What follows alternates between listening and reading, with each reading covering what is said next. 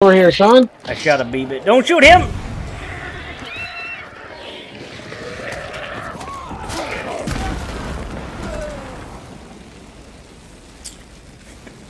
I killed myself.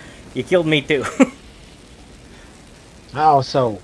so here's what happened. You shot the flamey guy, which caused him to explode because you pierced him.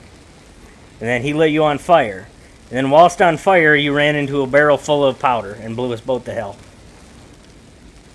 All right. Well, let's uh, let's try again. Alright, hit F to stop spec.